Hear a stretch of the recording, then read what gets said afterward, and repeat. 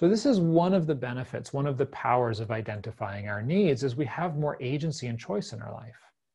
If we're not aware of what it is we're needing, we are bound to habitually and compulsively keep repeating the same behaviors without even knowing why we're doing them. Identifying our needs also has a range of benefits in our conversations, as well as the, this kind of personal level. So, what does identifying needs do for us?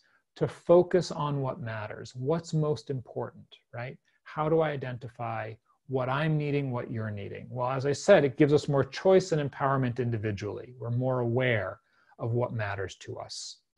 We can hear and connect with others, right? I can disagree with you, but still find something in your heart that I recognize in my heart. That gives us the capacity to transform our judgments and blame. So instead of seeing you uh, as a demon or an enemy, you're so selfish, I can identify, oh, I want more consideration. I want more balance in our relationship. Instead of, you're an evil person, I feel deeply worried about the choices you're making in, in this position of leadership because I want everyone in my community to be safe. So it lets us transform some of those internal judgments that get in the way in conversation. Finally, when we're able to identify what matters to us, to someone else, now we have more opportunities to work together. We can be more creative. We can collaborate because we've actually gotten down to the root of what's important here.